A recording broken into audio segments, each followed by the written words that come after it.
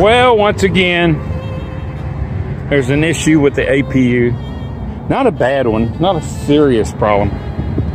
At night when I'm resting, if the cover is on the box, under the box, you know, if it's on it, this fan doesn't turn. Well, whether it's daytime or night, it doesn't matter if I'm resting or not, or if the box is on it. But that fan won't work.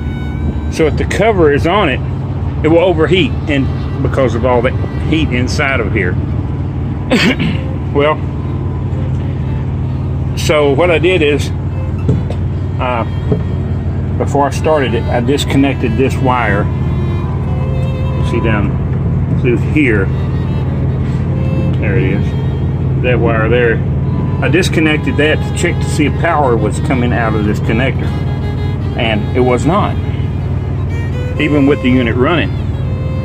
So I called our tech guys in Springfield, Missouri. They told me that, that it's controlled by a relay. The third one up here.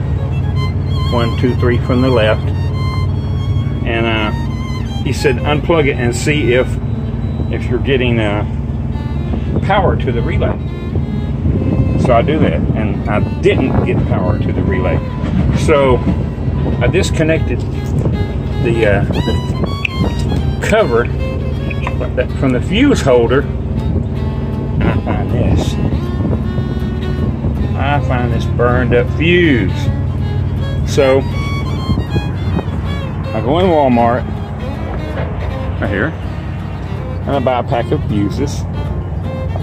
So there we go. And now I'm going to see if I can put the fuse back in, plug the relay back in, plug the fan back in, trip the uh, the cover safety switch, see if it'll start back up and the fan come on. Okay, it's necessary to go back in here and clear this code. It says open air one safety cover open. So is. So we we'll clear the code. Code is clear. We press start. And glow plug should be working soon. Glow plug. It should start in about three seconds now. I hear it running. No surprise. It hasn't had any trouble running. Just a little trouble overheating. We're gonna watch it. Watch it for a moment till the air conditioner comes, compressor comes on, and then fan starts working. Takes a second.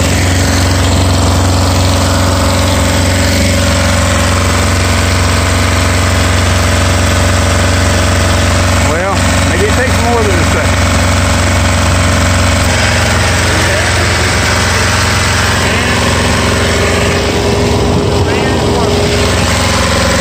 I fixed it.